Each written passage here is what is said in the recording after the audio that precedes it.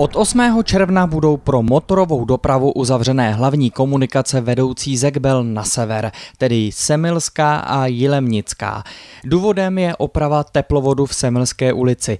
Uzavřená bude její část od lokality pod Nouzovem až po křižovatku s Bohdanickou.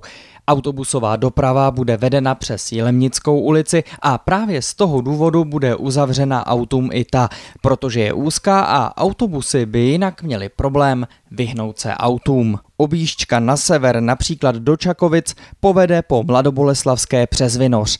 Silnice budou uzavřené na dva měsíce, tedy do 8. srpna. Oprava teplovodu ovlivní také trasu autobusu linky 202. Ten už nebude končit u Kbelského nádraží, ale bude zajíždět na novou zastávku nedaleko Kbelského pivovaru ve Vrchlapské ulici. S opravou teplovodu souvisí také další omezení a to v ulici Toužimské a Bakovské, kde bude kvůli výkopům zúžený průjezd a to od 20.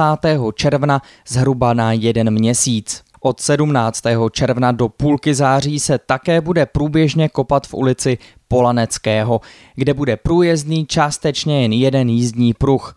Provoz tedy bude probíhat kivadlově. Oprava teplovodu je nutná, v zimě by jinak vedení mohlo prasknout. Na přelomu července a srpna se také plánují opravy železničních přejezdů v Jilemnické a Hornopočernické ulici. Zhruba na tři dny tedy budou v lokalitě přejezdů tyto silnice uzavřené. Díky opravě ale budou přejezdy bezpečnější.